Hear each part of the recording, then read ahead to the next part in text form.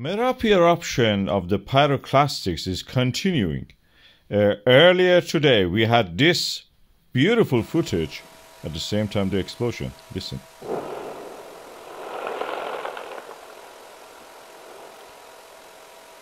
That was the biggest surge of the pyroclastic we have seen in the recent times in a volcano. Again, another footage from a different angle. And as you can see, this is really huge. Something reminds me this eruption was similar to what we saw in 1981 in the Mount St. Helens. Today we had a flank collapse in the form of this pyroclastics removed. This removal of pressure actually makes the eruption easier, more explosive. Lava may erupt eventually, forming a lava dome.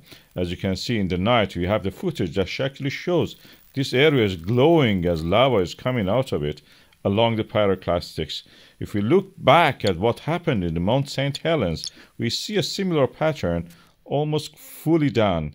In the Merapi is not yet in that stage. We have the collapse of the flank of the mountain in St. Helens.